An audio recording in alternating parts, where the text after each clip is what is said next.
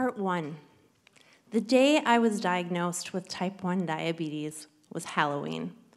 And the irony is not lost on me that I got diabetes the same day I got a giant bag of fun size Snicker bars.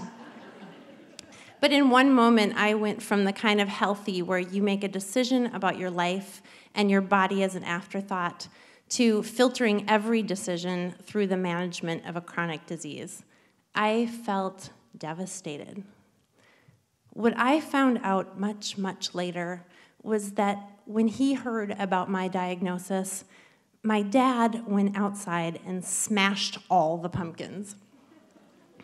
Not all the pumpkins. I don't think he smashed the neighbor kids' pumpkins because he's not a monster, but he smashed our family's pumpkins. And this was very uncharacteristic because my dad was raised by Swiss immigrants and they're not given to emotional outbursts. I mean, the only feeling the Swiss recognize is a, a feeling of superiority. So this was an unusual break in decorum for my dad, but I thought I understood it. I thought this was kind of his own expression of empathy secret, destructive expression of empathy, but still empathy for me. Part two. My son is a brilliant musician. He's creative. He plays the tenor saxophone. And he's creative and he's disciplined. And for the last few years in high school, he tries to get in three hours of practice on weekdays and more on the weekends. He takes every opportunity to listen and to learn, and he has given up almost everything else for it. He likes the kind of jazz that makes people hate jazz.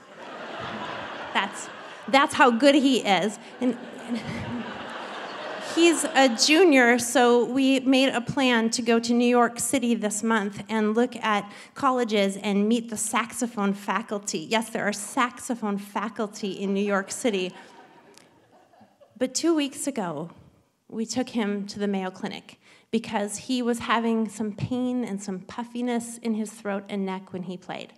And we'd gone to other doctors and he'd had some tests, but like most Minnesotans, we believe the doctors at the Mayo Clinic fall somewhere between Jesus and Dumbledore in their healing power. and when we made the appointment, we felt confident that's where we would find our answers. But our Dumble Jesus said, You have some structural weaknesses in your airway. It won't get better. If you keep playing, it will probably get worse.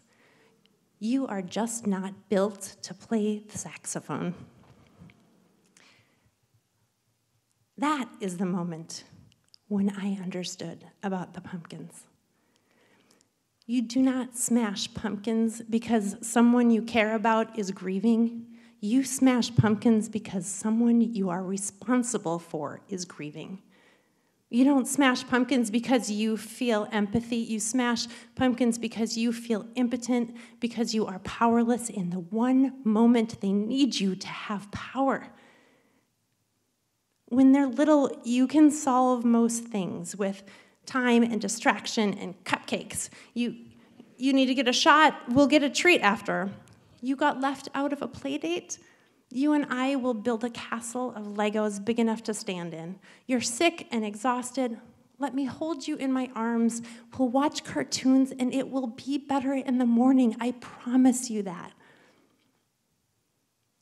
Your body has failed you, and everything you thought you could see about your future, you cannot see anymore. I got nothing. I would give you mine. I understand now about the pumpkins. I think I have some neighbors here who might be worried that they should put their Halloween decorations in overnight. And yeah, that is actually probably a good idea.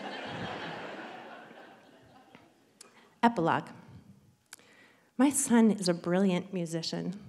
He is determined and he is resilient.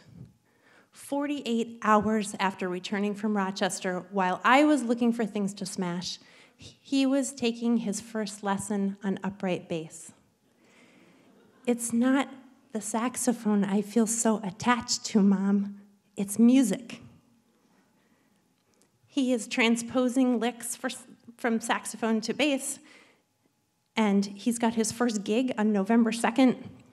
And this weekend, he and I went to New York City anyway, and we went to the colleges and we talked to the faculty to ask what someone would need to learn and know to audition on a new instrument in just one year's time.